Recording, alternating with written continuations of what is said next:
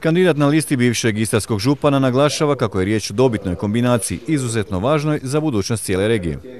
To je lista iza koje stoji šest regionalnih stranaka i mi smatramo da e, su regionalne stranke u stvari nukleus jednog trećeg bloka koji je u nastajanju u Republici Hrvatskoj i koji će se definitivno u budućnosti suprostaviti bipolarizmu koji se pokušava provesti.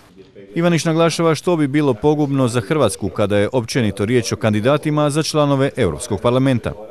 Za Hrvatsku ne bi bilo dobro da je predstavljaju u Briselu samo oni koji centralistički razmišljaju, kojima nije stalo do decentralizacije i do regionalističke Hrvatske. A to je u ovom slučaju ova lista i to je jedini ovaj, regionalistički blok koji ide na izbore i zbog toga mi očekujemo da će lista dobiti e, dovoljan postotak glasova, da Župan Istarski predstavlja regionalnu Hrvatsku u Briselu i u Strasburu, a to znači da naglašeno zastupa Istarsku i Primorsko-Goransku županiju. Jesu li zadovoljni dosadašnjom podrškom građana, potencijalnih birača?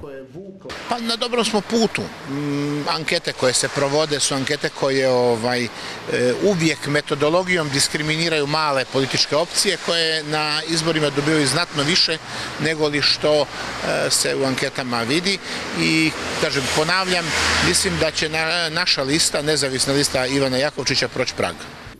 Na listi broj 28 Europa za sve osim nositelja Ivana Jakovčića nalazi se i poznata i u svijetu priznata liječnica Nela Sršen. Potporu listi koja okuplja stručne i kvalitetne ljude pruža šest regionalnih stranaka i brojne udruge.